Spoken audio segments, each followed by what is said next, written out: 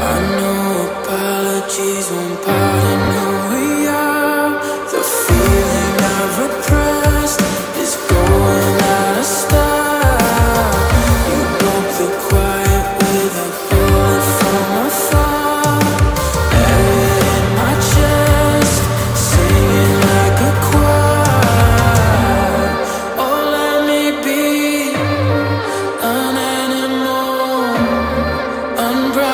by the words you speak.